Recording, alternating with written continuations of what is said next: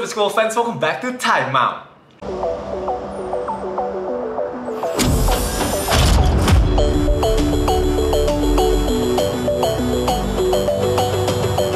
Balik bareng gue Padilla, kita kembali lagi ke info basket harian edisi 21 Agustus 2021 Time out geng, gimana semua kabarnya? Hopefully everybody doing good Dan kemarin ini gue asli super seneng banget Karena akhirnya bisa bermain basket lagi Setelah off dari Oktober kemarin bisa nge-shoot bola itu kayak rasanya udah wah bener seneng banget. Tapi lehernya panas banget guys.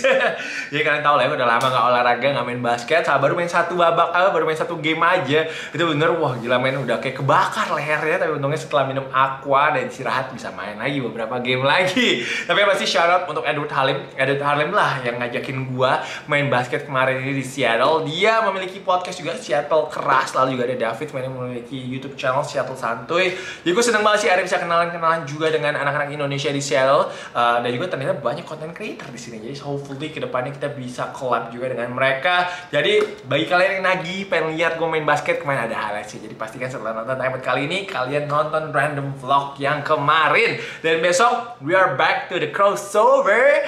Uh, setelah off dua minggu nggak ke the crossover, besok kabarnya ada gue nggak tahu sih dari besok atau hari Minggu ini jadi ada kadanya ada Minnesota Timberwolves Jaden McDaniels lalu ada Chad Holmgren yang mungkin jadi uh, number one pick next season di NBA and of course dia akan ke Gonzaga. Excited banget sih for this. Kemarin ini sama Malik sempat foto sama Chad Holmgren tapi fotonya jauh banget. Kayak musuhan fotonya.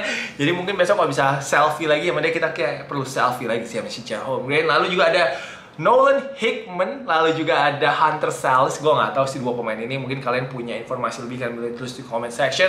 Kedua pemain ini juga akan ke Gonzaga. Wah, tapi ya temenan sama Derek semua nih. Jadi dua-duanya mungkin ke Gonzaga apa? Bukan mungkin, tapi udah pasti ke Gonzaga. Kedua ini, uh, so katanya sih dua-duanya juga asalnya dari Seattle sih so I'm very excited to see them tomorrow. Doain aja besok highlightnya keren-keren dari the crossover. And sekarang langsung masuk aja ke comment of the day. Comment of the day datangnya dari Sidnin Zahi Andre Drummond save his shell. Lalu LeBron why couldn't save my face in the playoff? Ini menurut gue sangat kreatif sih bener sih emang. Andre Drummond main di Lakers nggak ngapa-ngapain sama sekali sih. Jadi shout out to Sidnin Zahi though. Thank you so much for the comment and thank you so much semuanya juga sudah selalu memberikan komennya setiap hari. Maaf banget kalau belum kepilih komennya karena cuma bisa pilih satu aja. But thank you so much. Dan sebelum kita masuk ke timeout hari ini pastikan kalian tekan tombol like-nya. So thank you so much untuk selalu support timeout setiap harinya. Dan sekarang kita langsung masuk ke topik pertama gue seneng banget dengan berita ini yaitu Celtics memberikan extension pada Robert Williams sebesar 54 juta US dollar untuk 4 tahun. Gue suka banget sama Time Lord dari dulu dulu kalau kalian suka ngikutin Time Lord gue gue selalu endorse Time uh, endorse Time Lord endorse Time Lord untuk sebagai starting lineup di Boston Celtics. Dan pas dia start nggak mengecewakan Celtics rekornya 12-4 uh, this is another steal deal nggak sih? 13,5 juta dolar per year untuk seorang Time walaupun gue tahu memang dia mungkin average menitnya cuma 19 menit per game. Tapi gue dan juga mungkin dia kayak suka cedera juga kali ya. Ingat gue dia kayak suka cedera juga tapi next season saatnya dia sih nggak sih untuk step up menurut gue uh, center Celtics cuma ada dia Ennis Cantor, Luke Cornett dan juga Taco Fall. Jadi gue expect at least dia main 28 menit kali ya 28 menit per game atau 30 menit per game I'm getting him though. For NBA fantasy I think we need to get him man. Uh, selain defense yang gokil banget kalian tahu ya last season itu ada di playoff di mana dia ya semua orang tahu lah ya dia 9 kali block satu game lawan Brooklyn Nets. Tapi ada satu bagian dari game dia yang gue suka dan menurut gue underrated yaitu passingnya dia. Dia main 19 menit per game aja itu asisnya 1,8 assist per game. Jadi kalau dia nambah menitnya, gue expect dia bisa ada di 3 assist per game dan dia feel for the game-nya bagus loh menurut gue. Dia pinter banget untuk hit the shooter, the open shooter, or even temennya cutting. Jadi Time Lord man is the future menurut gue juga untuk uh, Boston Celtics. And excited sih untuk future Celtics. I think mereka akan main defense ya next season. Kita tahu ada Jalen Brown yang merupakan salah satu perimeter uh, defender yang bagus. Lalu juga ada Marcus Smart yang probably the heart and soul of Boston Celtics. Lalu ada Josh Richardson yang baru datang dari Dallas Mavericks. Ada Chris Dunn. Chris Dunn tahun lalu di Atlanta memang agak eh, dia juga cedera ya. Tapi gue harapkan dia bisa revive his career nanti di Boston Celtics. And of course ada Robert Williams. Jadi Ime Udoka nih senjata defense-nya lumayan oke okay banget sih musim mendatang ini. Tinggal bantuin aja. Oh, gue gak boleh lupa masih ada Dennis Schroeder. Dennis Schroeder juga perimeter defender yang bagus nih. Uh, mungkin orang juga nggak terlalu memberikan dia banyak kredit, tapi menurut gue dia tahun lalu, apalagi kalau kalian inget Lakers lawan uh, Celtics itu dia he was haunting si Campbell Walker masih ingat gue ya. Dan sekarang yang lainnya tinggal bantuin aja Tatum sama Jalen Brown untuk ngepoint juga. Lalu dari Celtics sekarang kita pindah ke karena next kita pindah ke ex Celtics yaitu Terry Rozier juga tambah kaya nih kemarin ini ya. Dia sign 97 juta US dollar untuk 4 tahun. Banyak orang yang bilang langsung wah gila nih overpay banget men untuk si apa untuk si Terry Terry Scary Terry Scary Terry Rozier Rocky Padilla. Terry Rozier uh, hampir 25 juta dolar setahun. Uh, apalagi kita tahu lah ya, ada historinya GM-nya Hornets, Miss Kopchek. Kita kemarin baru bahas di segmen baru gue baru tahu. Itu suka banget memberikan kontrak-kontrak yang agak aneh, yang luar biasa. Di mana dia sempat memberikan kontrak besar kepada Deng dan juga Timo. Moskov yang dua-duanya akhirnya nggak pakai sama Lakers. Tapi menurut gue Scary, Scary Terry sih deserving banget sih untuk dapat 25 juta US dollar setahun. Uh, he can score in a bunch menurut gue dan juga cepet dia bisa scoringnya. Dia last season average 20,4 poin per game dan first game of the season dia langsung 42 poin aja lawan Cleveland Cavaliers. And his game winner ada yang inget lawan Golden State Warriors. Gila udah miring-miring gitu nembak. Akhirnya masuk menurut gue tuh juga keren banget And dia fit really well. Menurut gue dia cocok banget main bareng sama Lamelo Ball. Lamelo bagian supply bola dan dia bagian scoringnya sih. Dan sekarang ini kalau kita lihat dia juga si Charles Hornets juga main ngambilnya si uh, James Bouknight ya untuk NBA draftnya. Jadi misalkan anything, misalkan dia ngelihat si Terry Rozier udah nggak cocok nih dengan pemain muda pemain mudanya Hornets ini bisa jadi trade asset juga menurut gua. Gajinya dia bisa ditukar mungkin dengan draft pick dan juga pemain muda lainnya. So ini bisa jadi aset yang bagus juga sih untuk Charlotte Hornets. Dan apalagi sekarang kita tahu si Devontae Graham sudah ke New Orleans Pelicans. Jadi I think Rozier probably the second option boleh dibilang setelah Gordon Hayward, gue gak tahu sih Gordon Hayward statusnya apa sekarang dia cedera apa enggak ya? Gue udah gak even inget men. Tapi yang pasti kayak kalau ada Gordon Hayward masih Gordon Hayward lah ya first optionnya, and then baru si Terry Rozier untuk scoringnya si Charles Hornets. Lalu juga masih ada Kelly Oubre, masih ada Lamelo Ball juga, dan sekarang orang-orang pada berharap ataupun juga boleh bilang fans Hornets berharap mereka akan ekstensi Miles Bridges juga dan Miles Bridges menurut gue juga bisa jadi uh, pemain yang oke okay banget ke depannya untuk si Charles Hornets. Kita lihat lah akhir-akhir musim kemarin dia produktif banget sih. Dan yang pick up dia di uh, fantasy juga pasti seneng banget kemarin ini. And fans Hornets gue baca online semuanya seneng loh semuanya dukung banget nih dengan extensionnya si Terry Rozier. Oke, sekarang kita pindah ke full schedule-nya NBA. Hari ini sudah dirilis dan karena gue ingin memberikan beberapa matchup yang mungkin menarik. Ini dari Bleacher Report gue dapetnya. Yang pertama jelas ada Russell Westbrook ke OKC Thunder lagi katanya Oktober 2000 uh, eh, Oktober 27. Gue ngomongnya agak ngaco hari ini, nggak tahu kenapa. Um, Russell Westbrook oke okay sih, gue gak tau sih kenapa masih penting banget sih ya. But hey, that's what Bleacher Report picks. And then of course Battle of New York tanggal 30 November. Battle of New York kita tahu selalu keras banget dan selalu intense banget. I'm excited for that one. And Battle of LA December 3rd. Battle of LA kayak eh, oke okay lah ya. Apalagi gak ada Kawhi tahun ini kayak agak kurang sih menurut gue ya. Um, lalu KD pertama kalinya ya, kalau halnya balik ke GSW sejak pindah, gue gak tahu sih, gue gak sih. Dia kalau waktu dari kayak belum pernah ya kayak inget gue ya. Atau udah pernah sekali tahun lalu ya. Gue gak, gak, gak inget ya. Mungkin udah pernah sih sekali harus tahun lalu kan. Tahun lalu 72 pertandingan. Maaf ya guys kalau gue ngomong sendiri. Tapi Januari 29 KD akan kembali lagi ke Golden State Warriors uh, melawan mantan timnya dan kita tahu main udah ada interviewnya antara KD dengan Draymond Green. Interviewnya mengungkapkan bahwa uh, argumennya mereka saat lagi lawan Clippers waktu itu uh, sebenarnya mereka udah baik-baik aja tapi setelah itu Bob Myers and Steve Kerr katanya ikut campur dan akhirnya merusak semuanya yang membuat KD pindah. Dan mereka pun yakin lawan Toronto Raptors kalau KD nggak cedera itu mereka akan jadi juara. Tapi gue gak setuju sih kalau mereka bilang si finalnya Milwaukee lawan Phoenix nggak seseru Golden State lawan Cleveland atau Golden State lawan Toronto. Menurut gue kemarin finalnya Phoenix lawan Milwaukee lumayan seru sih dan diselesaikan dengan a banger kan di mana si Giannis 50 poin. So menurut gua tahun ini finalnya not bad at all sih.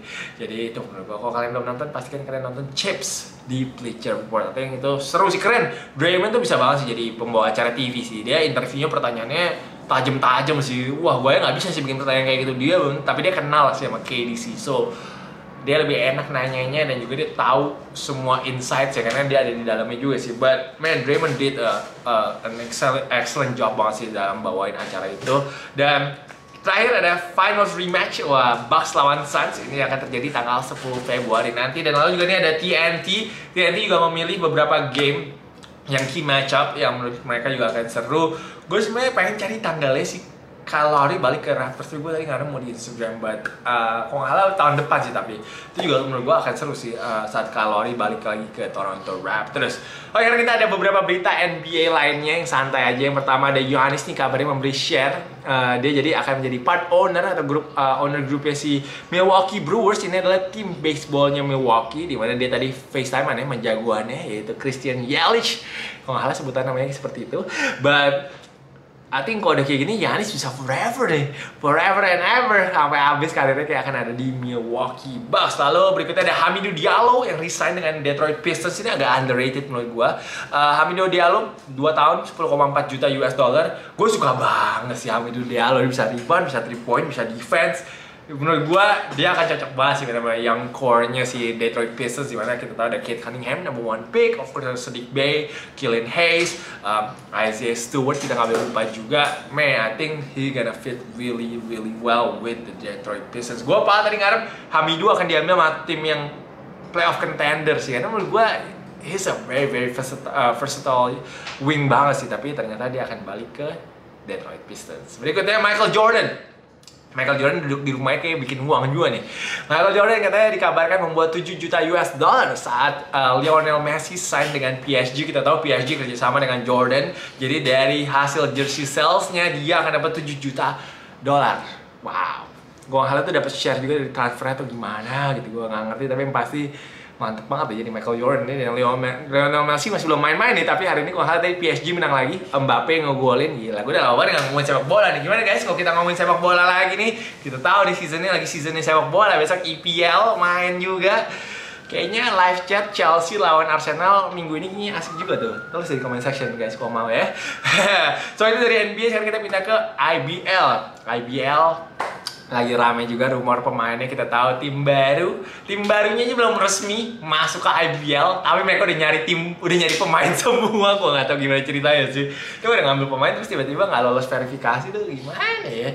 Tapi yang pasti uh, banyak banget sih gosipnya gue ah gila men kok gue bisa bikin uh, Twitter gitu ya kayak Warnerowski gitu. Sebenarnya main yang Adriano ini kayaknya kita ngomongin Adriano ke Prawira Bandung. Jadi main Adriano uh, ke Prawira Bandung itu gue udah share main ini di Discord group gue tapi gue share di situ aja gue nggak share tempat lain.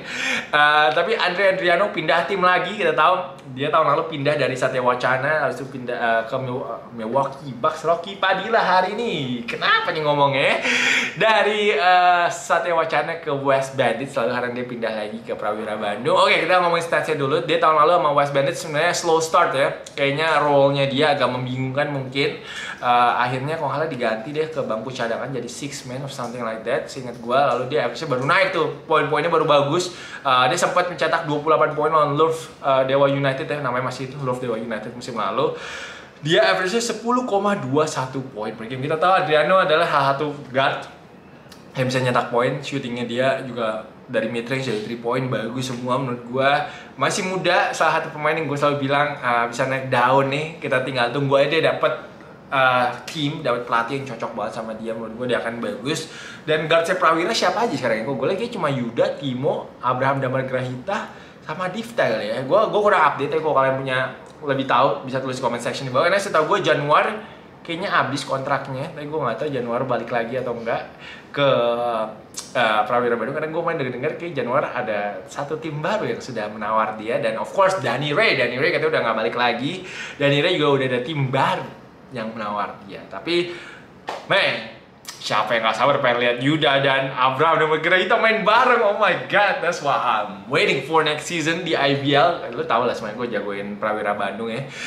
Jadi Yuda and Abraham I think that's that, that backward man. That backward gonna be crazy. Dan I think uh, Adriano Adriano kalau dia main dari bench lagi untuk Prawira Bandung dan di bawah tangannya David Singleton oh my god. Gue expect Adriano bisa 14 poin. Tapi gue gak tau ya, gue mau ngomong dia 14 poin per game, tapi gue baru inget kan kita kayaknya ada pemain asing ya. Kalau ada pemain asing kayaknya ya ada agak, agak kurang lagi tuh tarik PPG-nya ya. Tapi uh, Prawira timnya guardnya sih solid banget ya. Dan kita lihat ya ntar forwardnya gimana. Kita tahu forwardnya masih ada Reza Guntara, Hmm, Pandu balik gak ya? Pandu kayak balik sih harusnya. Kalau yang gue tahu tuh Firman. Firman tuh kayak lagi digoyang sama banyak tim tuh. Kayak Firman bisa-bisa pindah tim tuh. Dan kemarin kalau halah mereka dapat satu pemain lagi dari West Bandit. Sebenarnya ada dua yang pindah dari West Bandit. Satu lagi gue nggak tahu tuh udah boleh disebutin atau enggak. Nah yang satu lagi dari West Bandit tuh pemainnya posisinya wing. Nah jadi kekurangannya untuk Prawira menurut gue adalah big man sekarang apalagi kalau mereka akan ditinggal sama si uh, Firman dan Yaya juga pindah ya Yaya juga udah pindah tim walaupun gue gak tahu tuh udah boleh sebutin juga atau enggak gue orang di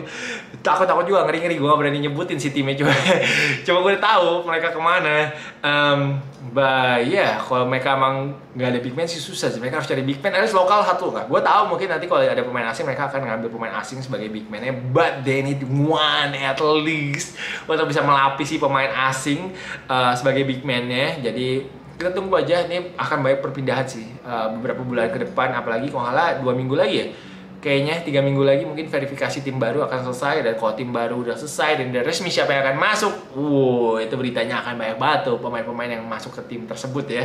Bah dia itu dulu dari gue time outnya hari ini maaf banget ya. I am so sorry hari ini gue ngomong banyak salah, banyak belipetnya bah. I am human after all. Hopefully you guys enjoy today's uh, episode. Semoga dapat informasi baru juga di episode kali ini. But yeah, thank you so much guys for watching. Thank you so much for always supporting my channel. Jangan lupa untuk like, jangan lupa untuk comment, and jangan lupa untuk share juga. And I will see you guys again very soon. Peace out.